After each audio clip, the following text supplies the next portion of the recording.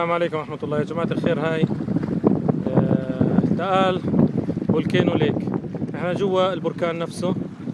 هذا محمد أبو سعد junior.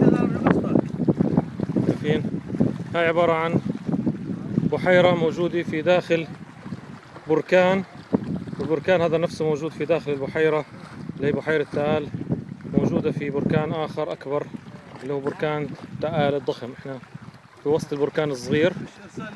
طبعا تقريبا مشى على رجلين لمدة ساعة ونص. لما وصلنا هاي المنطقة وفي المي بالقارب حوالي عشرين دقيقة. وبفضل الله عز وجل وصلنا هاي المنطقة. في المنطقة هذيك اللي بتلاحظوا في دخان طالع. في دخان.